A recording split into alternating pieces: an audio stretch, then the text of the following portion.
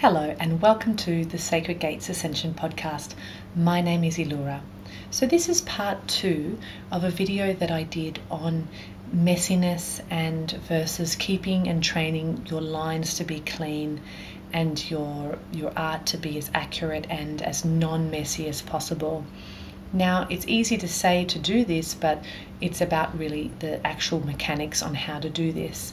Now, everyone will probably have their own way. And the way that I've found the most easiest for me to get my practice more and more clean to really clarify those lines in your body lines of focus lines of openness lines of release to be as continual as as as much as you can clean and non-messy is to work on focus on stillness in your practice now, stillness is something that we've heard about, like going to that still point, and we're not at the level of like an arahant, like an enlightened being, that, that level of nirvana, that level of stillness, but we can still experience stillness and moving into and deeper levels on that spectrum of stillness, and of course, receive the benefit.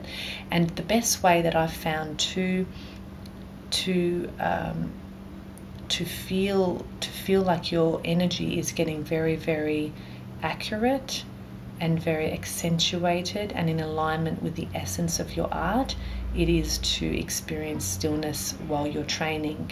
Now there's lots of different points on the body. I recently did a video on soothing and balancing out that solar plexus chakra, which is the energetic bridge between your magnetic energy and your electric energy. And that's a particular area that's great for experiencing stillness. You can also um, guide yourself to experience stillness in the, the energy ball when you're doing the energy ball. Another video I did here is on opening up the pores of the skin and awakening the skin, the organ of the skin, and of course, all your senses through your skin. And you can also do that through experiencing a point of stillness.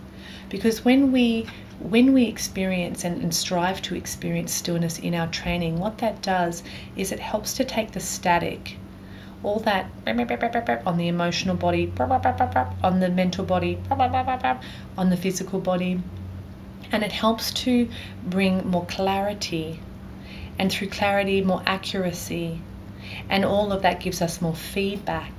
And so the stillness is the perfect the perfect quality yeah to help us get to the essence and to our most to our best potential of our training in that moment.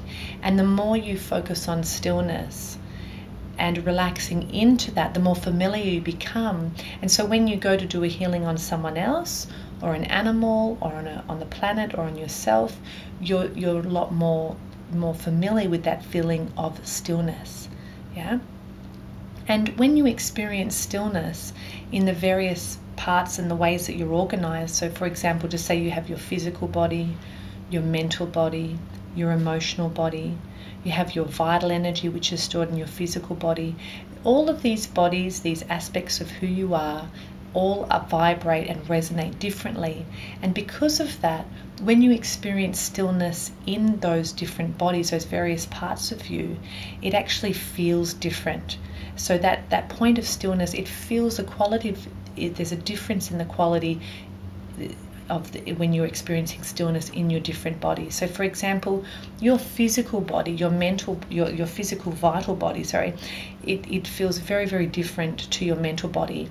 Your physical vital energy is much more dense than just say your mental body. So, for example, that's exactly why there's technology now that can actually read your thoughts because your thoughts are out there, you know, um, and they're able to be read. Whereas your physical body is quite dense, and so it's got a different vibrational structure, configuration, density. And so when you experience stillness, be aware that that still feeling is going to feel different with your physical body to that of your mental body, to that of your higher self bodies, to that of your emotional body. Yeah? And the static that you're going to feel is also going to be different. So the point of stillness will feel different. Likewise, within that complementary opposing forces, the static will also feel different. And so I, I, invite you to play around with experiencing. Go to the video where we balance the, the soothe and balance that point here, the solar plexus chakra, to help balance out the magnetic and electric frequencies. And it's a good it's a good focal point. Eventually when you get to the point you can do it just anywhere in your body, but to begin with it's helpful to have a location, location based. Obviously we can transcend location uh, but you know you can feel your solar plexus for example through your whole entire body. But for now it's a good place to start is to focus on the still point here. So go to that video um, on soothing and balancing for a good experience of, of, of, of, feeling that. Now when you first start to experience stillness sometimes it can feel really when you're just beginning it can actually start to feel the more you focus on stillness in a particular area you want to be focusing on traveling through time and space because what can happen sometimes when our conscious mind for the first few times experiences stillness it can get really contracted and tight and kind of condensed. So keep practicing and don't force try to have a very bare soft awareness as i guide you to have in that video i've mentioned and that's going to really help you to move through time and space and, and help you to experience the ever changing vortex and moving landscape of stillness.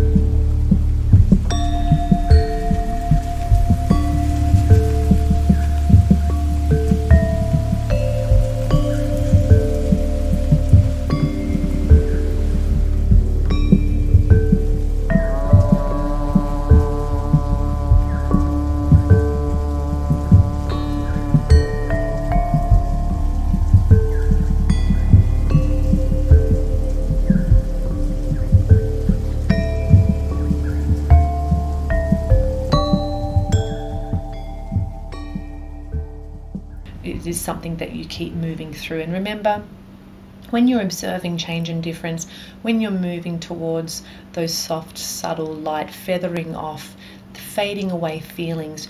You are in the stream of reality moving through. And just remember, it's like you're driving a car and all that scenery, houses, trees, building, roads, people that you're moving past, you're not really paying attention to it. It's just like phenomena passing by, it's scenery. So that's what allows, keeping that in mind, allows you to keep moving through this area here, the, the solar plexus. Okay, guys, I'm really looking forward to hearing back from you in regards to stillness and how you go with that and um, give it a try. It, it is really a great practice for helping, like I said in the part one video, of cleaning up your lines, clarifying your lines, and helping you to become more accurate in your own practice and also working with other people too. Thanks for listening. Bye bye.